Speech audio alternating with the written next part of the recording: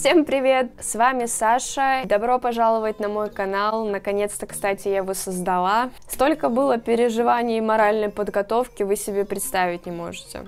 Но сейчас не об этом. Сегодня в этом видео я вам расскажу свой личный топ книг для изучения английского языка, по которым, собственно, я сама сейчас занимаюсь. Я знаю, что многие из вас только начинают раскачиваться в плане изучения английского языка, и вы, скорее всего, задаетесь вопросом, а какой же все-таки учебник лучше выбрать для более продуктивного изучения английского языка. Я думаю, самое время приступить к нашему мини-обзору. Поехали!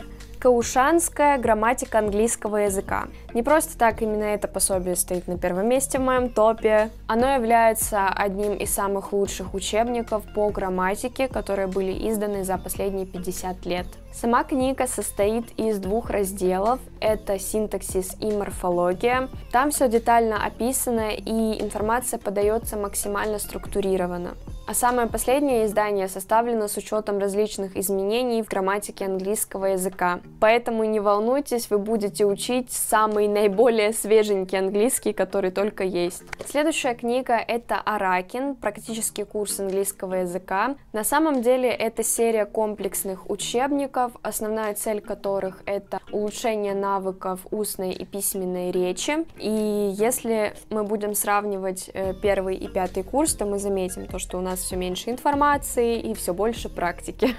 В этой книге есть информация и по фонетике, и по грамматике. Есть упражнения на отработку данной в книге информации, есть и топики, которые можно почитать. Ну, то есть это прям такой сборник. У меня есть прям целая коллекция с первого по пятый курс, но я не могу сейчас вам показать, потому что эти книги задействованы сейчас в моей творческой работе. Одна из них поддерживает сейчас телефон, так как штатив не актуален на данный момент. Итак, что у нас дальше? На третьем месте у меня Соколова где-то здесь она должна появиться.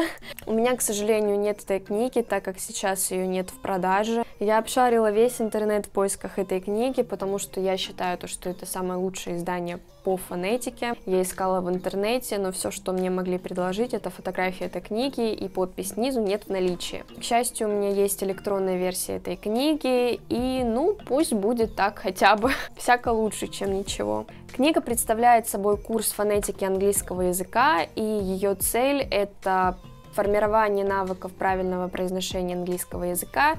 И профориентации студентов в дальнейшем. Состоит из теоретической и практической части.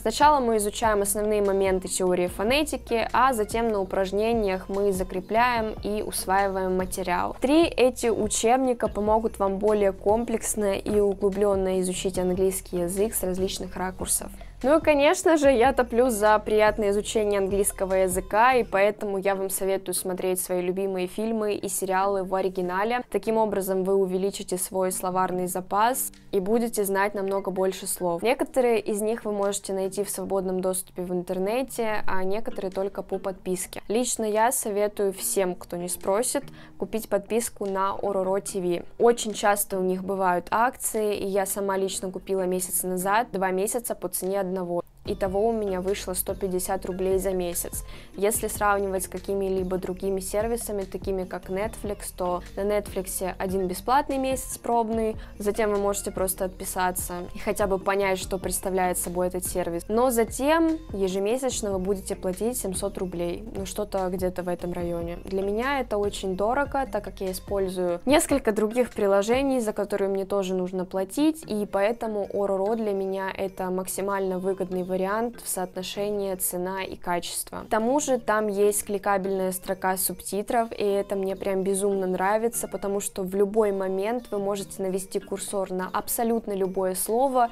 и вам автоматически покажут его перевод. Затем вы можете добавить это слово в свой словарь для дальнейшего изучения. Это прям супер.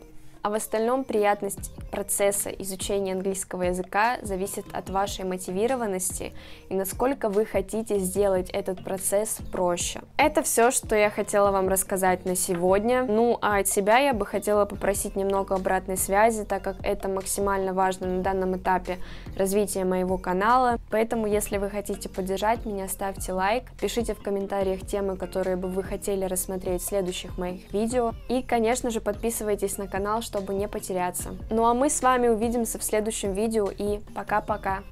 А в остальном приятность самого процесса изучения английского языка зависит от вашей замотивированности замотивированности. Но, возможно, кто-то из нас не знаком с этой терминологией, поэтому я все объясняю. Книга создает... Создает. Сама книга создает... Да почему создает? Почему?